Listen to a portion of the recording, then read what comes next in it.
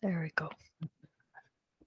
So, hello everyone. Um, this is uh, PulpCon 2021. Uh, I am having a session about Py uh, Python type annotations, and my name is Matthias Dellweg. And this session is not of the presentation type, it should be more of a discussion type. If you see this shared screen here, there's a small outline of um, points I want to talk about today. And I just realized maybe someone doesn't even know what type annotations and pulp are. So I'll try to make a very short introduction. Um, I assume you are uh, familiar with Python it, itself, and Python is a um, duck typing uh, programming language, and duck typing is usually referred to uh, if it sounds like a duck, then it's probably a duck. And I usually say if it sounds like a duck, then for all intents and purpose of your program, it's safe to assure, safe to assume it is a duck.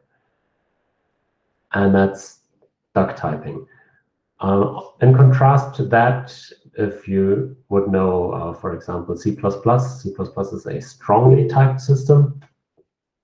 And there you can say, at compile time, the compiler checks if the thing you hand over to a function is of the exact type the function expects. And if not, this is a hard failure, and you won't even get to the point where any code is running. This is kind of the two extremes of that situation. And Python type annotation is able to get you into a middle ground there. So um, to start off here, it is a feature introduced with Python 3, maybe uh, I don't get it right, but I think it's about around Python 3.5. Um, uh, there is one project in the Pulp ecosystem that is already using it, and that is the CLI and its plugins. I think there are a lot more projects that could benefit from it, and only one can, comes to my mind that is still claiming compatibility with Python 2 and so just can't use it. And that's the Squeezer project uh, providing Ansible modules.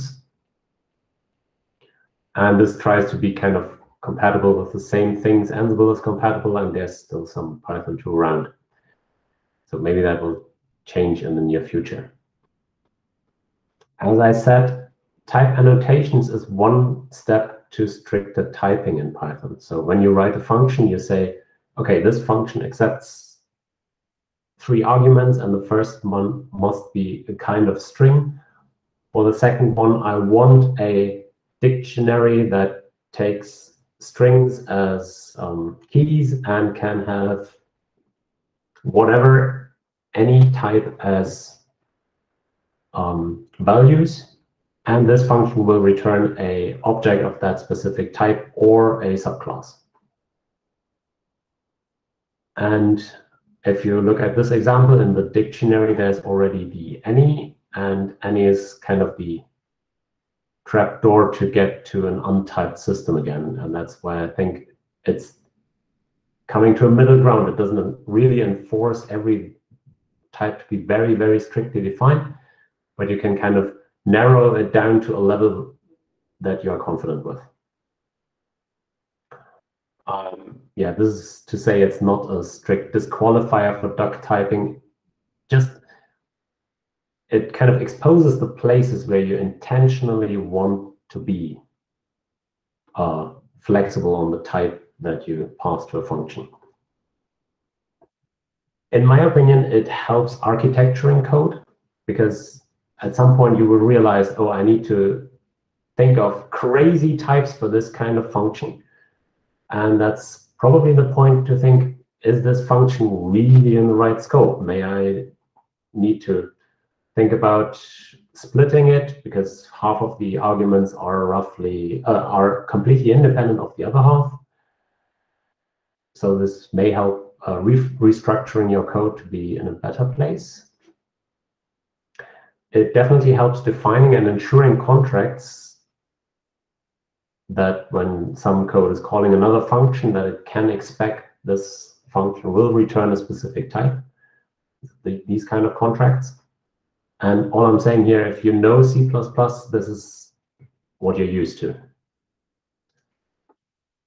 Um, in the case of uh, Pulp CLI, we introduced it in a very, very early stage because it was a young project. This was rather easy. But at that point, we already had a bug that would have gone unnoticed forever, probably. And if you want, click on the link. Uh, I think it's very nice explained there. Um, and the last thing I want to mention is it makes a huge difference if whatever um, libraries or framework you use, if that framework already has type annotations your project can rely on, and this is about the contracts again, this is very, very helpful. And with this, I think we can start the open discussion here. And my question would be, how would you feel to introduce uh, type annotations into Pulp Core or its plugins?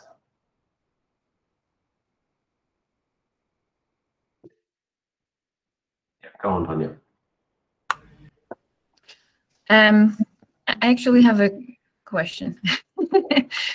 um, so I I had an impression that um, it makes sense to introduce type annotations maybe in the like not in the whole code base but in like in the core parts or like the ones which are not changing significantly like in critical parts um, is it, I don't know, your impression as well or not? and my second question in Pulp CLI or what I you suggest to use, like, is it um, static type checkers or dynamic? Like, I'm fam very familiar with like MyPy, for example, but uh, I wonder what you're using or what's the plan. Okay. Um, the last question is very easy to answer. It is MyPy. And just MyPy benefits a lot from type annotations. And yes, it's a static type checker, and that means um, you don't change anything when you try to hack something away. You, you just don't introduce the type annotations to run the code in your development and just experiment as always. But in the case of the CLI, uh, we have the strict flag on the MyPy run. And so it will just reject the linting when there's a missing, uh, there's an annotation missing. Um, your other question, help me out, please. Um, like how broadly we should you oh, think yeah. we should use the type annotations in the code base? Yes. Uh, let's first say you can um, uh, have not use the strict flag, and then you can just introduce the type annotations as you come along code, and it will check whatever is there and not complain if something is missing. So you can introduce it gradually. I'm not sure that will work out because inertia and laziness. In the CLI, at some point, I realized if I don't put the strict flag there, then we will just lose it. So that's yeah hard to say. Um,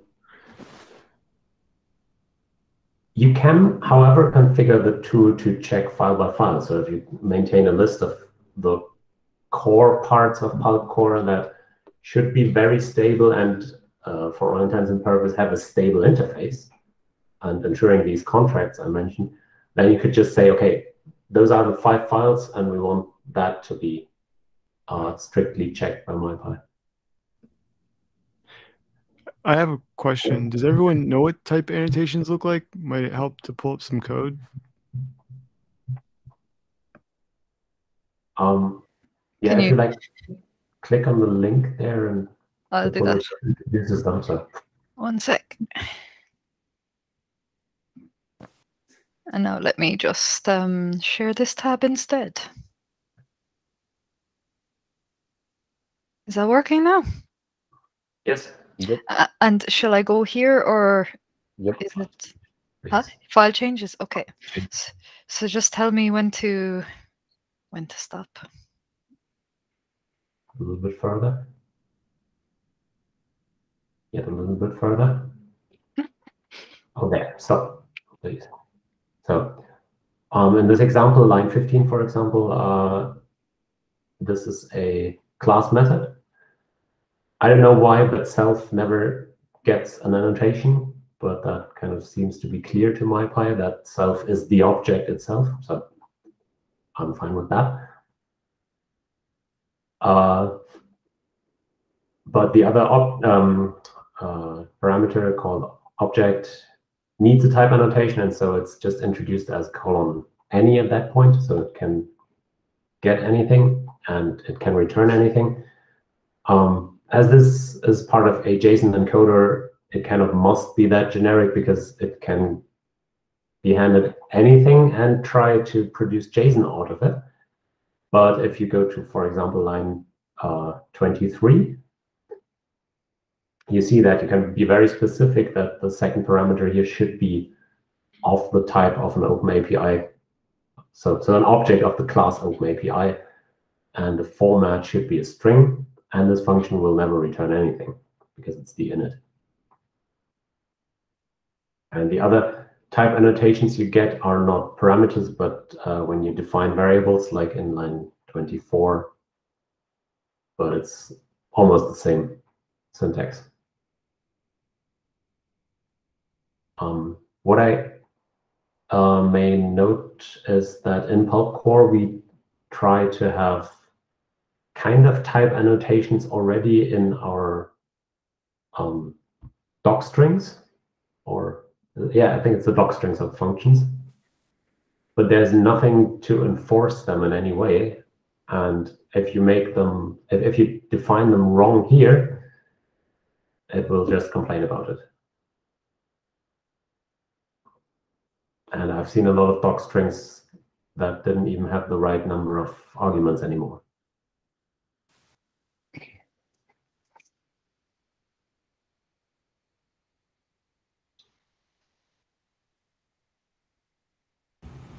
Yeah, that's we'll. s- That's kind of a challenging situation though, because I agree with the value that's claimed here, but the doc strings are important for auto-generated auto doc, so we're still going to need to keep them.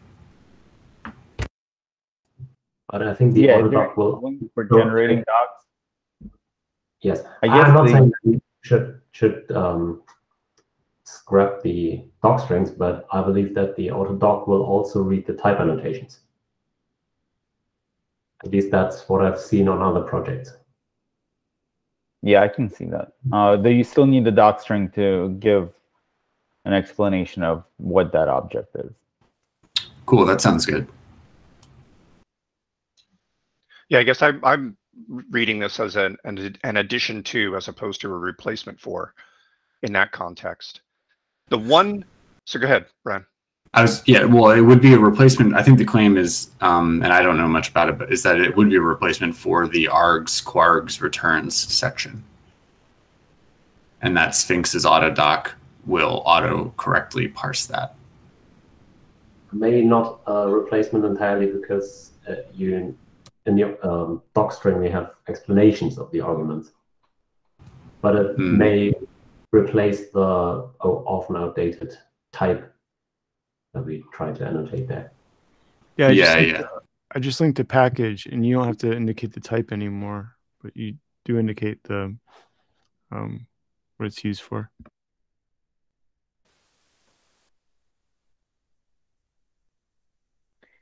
So I definitely see, you know, value. However, um, I am, uh, I feel uh, like it's a pretty big undertaking to introduce this everywhere. And I I just can't uh, decide if the value outweighs, you know, the effort it will take to introduce it. When you started with the CLI project, have you started to use type annotations right away or they have been added, I don't know, after some time? Um, it's the 15th pull request. So there was code already. And this Yeah, code that's- was bugged already, and we found a bug that might. That's the story here. But yeah, the 15th, so it was very, very, very early.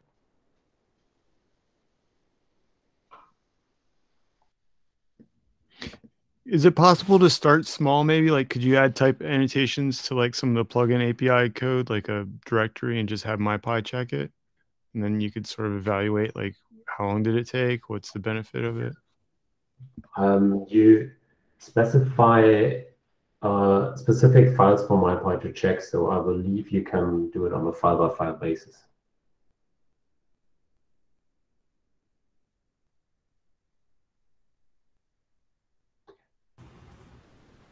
Yeah, if if we do this sort of thing, I mean, doing starting small and picking kind of the highest value areas, I think that all makes good sense. Um, uh, I think it's clear. You know, I have mixed feelings on it, um, but not a definitive feeling either way. But it is clear to me that this will produce higher code quality. So I don't. That's not even a debate really in my mind. It's although other people may. Um, but what's not clear to me is if the opportunity cost of that time is better spent elsewhere. And that's an extremely difficult question to answer. Um, but I do think that it's easier to answer if we were to try it a little bit. Because right now, all I have is kind of a theoretical cost benefit analysis. Yep. And maybe if I did, if we did pick at least maybe one or two modules that are, you know, very high value, whatever that, whatever those are, maybe, maybe I would have a very different perspective on its cost benefit analysis. Um, I'll also point out that in the life cycle of pulp, um, uh, we do with pulp 3, I think that we do want more higher quality code and probably less, you know, at the expense of fewer features. Um, and like later in the week, I'm going to pitch totally rewriting every single test in Pulp. So, um, I mean, I can very I much thought get you were going to say rewriting it in Rust. No, no, no, no. Uh, um, That's Daniel's thing. yeah. So, so like, you know, I, I I can definitely get on board with with more code quality at the expense of fewer features. Um, so I, I think I'd like to try it in the small. I guess is what I'm saying after all that kind of open, vague reflection. Um, I can just kind of have the impression that other projects introduced it in one go. So from one release to the next, there was type annotations for things like click, which we used here, for example. And I don't know if Yeah. that because they just think we need they needed to do it, or if there was a deeper reason. I just don't know. Um, Grant. So a couple of couple of observations in terms of Brian, your comment, especially on high value targets for this. Where it feels to me like would be really useful is in the plugin authors API because it makes it easier for people, not us, as they're writing plugins to catch mistakes early in their cycle as opposed to you know running the code and then finding out that they've mistaken the type of something. So if we're going to target if we're, we're going to target this that would be my suggestion for the first the, the first fruit to go for. Um, partially and this leads in, into my second observation having done uh, adding type annotations in pulp cli adding annotations for a, a, a library that you're using a third party that you're pulling in that doesn't already have them is way higher, way more of a pain than uh, than otherwise, because if the library already has it, then when you're calling that library's methods, you already know exactly what that library is telling you the type should be. You can you can add that to your code. It's all fairly straightforward. If the library you're calling doesn't have that, especially if you're trying to do a good job at type annotation and not just use any everywhere, which is like, you know, okay, we have the appearance of type annotations, but we're gaining no benefit from it. Um, it was it was a lot harder which isn't which to me says that the plugin API it, it, reinforces that the plugin API is the place to do it.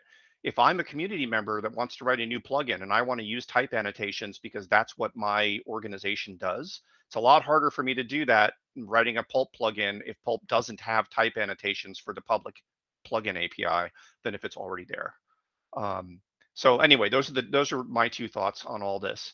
Um, the completely personal one, having worked with this in Pulp CLI when I didn't know how it worked before, is when I'm heads down in the code and have been writing code that requires type annotations, it, it's fairly straightforward and I know what I need to do. If I'm away from that code and then I come back after a month and write, oh, I need to, I'm going to try and add some stuff to Pulp CLI and get started up again, it, it takes a while to get into the mindset. So personally, for me, doing it all the time once you you're into the flow is a lot easier. Coming in now and again and doing it the startup time was large for me personally.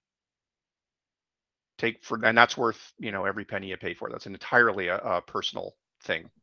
No i th- i think that's a really good point because i i like using type annotations but um i've hit several instances where i've been really really frustrated with it it can be challenging at times especially when you start to learn it you haven't learned it before. Yeah, I agree. Like when I was contributing to the Pulp CLI, um, I I spent a while doing the type annotations, and that's not a bad thing. But there is a frustration element, which I think does speak to, you know, the fluency of doing it on a regular basis that I lack. Ina, you have a question? Um, yeah, I guess I wouldn't be against trying this gradually.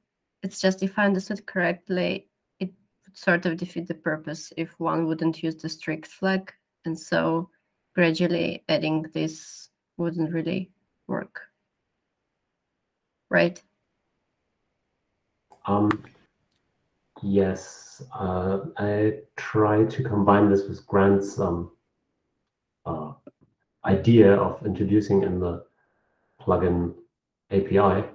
And maybe that's the reason why it just won't work. Um, the plugin API is the thing that relies on everything else pulp. And so this may just say, okay, every library you are importing doesn't have it. This, this, I can't check this. So maybe the place to start, but that's up to experiment, is the um, modules, which kind of, uh, so the ORM, which is kind of at the heart of the Django project and everything is depending on that. So maybe the, the point to start adding it gradually is looking at the dependency tree inside the project. Also another question to maybe think about how would the backports work into the releases which don't have type annotations at all? That's a good question. Probably you um, well, Python doesn't complain about them. So the question is if you still want to delete them on the cherry pick. Mm -hmm. So there would be some manual intervention. Well, it doesn't hurt to introduce them from, from the side of running Python. yeah, I think leaving the backport. Just ignore. Yeah, it'll just be ignored because it's part of the official Python language. Um, yeah, I, I agree, uh, but that's a good point. I think the chances for merge conflicts goes up if we introduce um, type annotations. Just something to think about.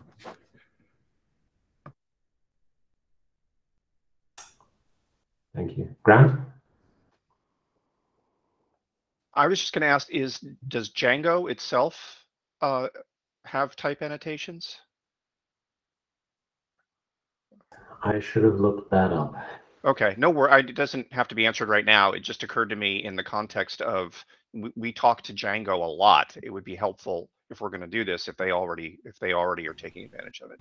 I don't think so. I just spot checked. Okay. Yeah, I haven't noticed it. Like whenever I look at Django code, I don't recall any type annotations. Okay. That makes me kind of sad because that does make it harder to um, to do this. Just in again, in my experience, it's a lot harder talking to a library that hasn't told you what it expects and trying to do the right thing in our in our code. You will need to define those types, right, yourself.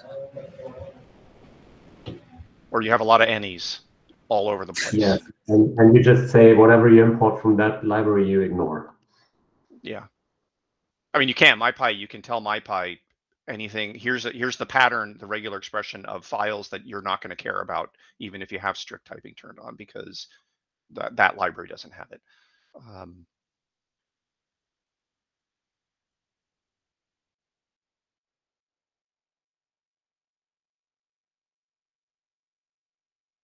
Oh, that's interesting, David. Thank you. Yeah, it looks like maybe an unofficial um, project. Hmm.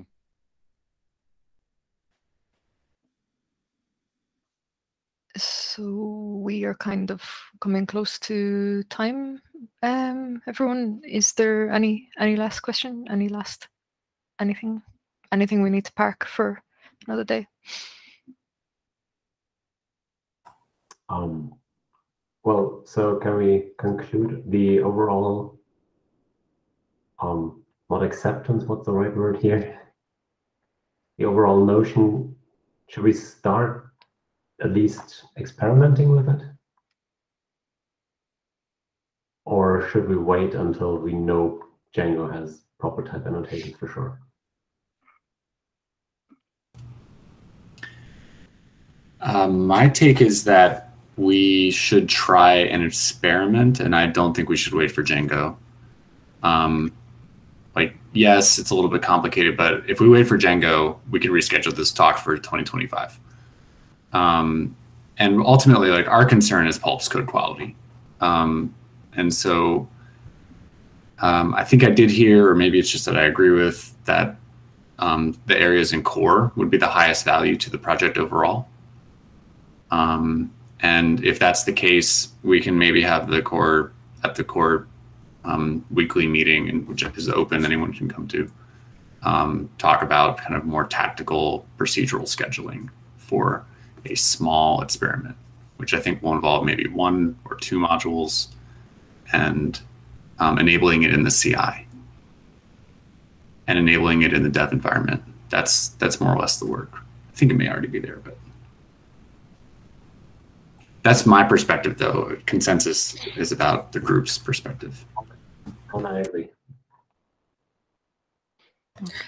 Um, I agree if it's very small effort to try, just because I believe other things will take priority, unfortunately. As much as I would like to add this mm, to the critical parts of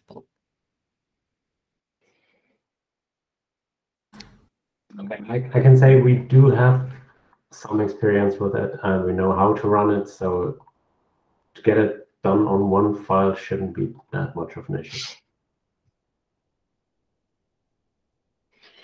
And I think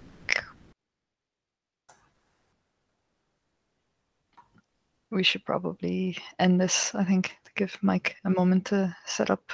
And I'm sorry to cut across whoever whoever's on mute. I, I heard there. I'm going to stop the recording. Thank you very much, Matthias. Thank you all.